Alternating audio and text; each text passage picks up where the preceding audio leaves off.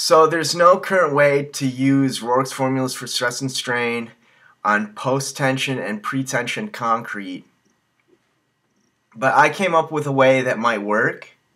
So what you would do is Roark's formulas for stress and strain for axial and transverse loads are, I'm pretty sure, partial differential equations, which means that part of the equation, excuse me, affects another part, which affects the first part again, but there are other variables in there.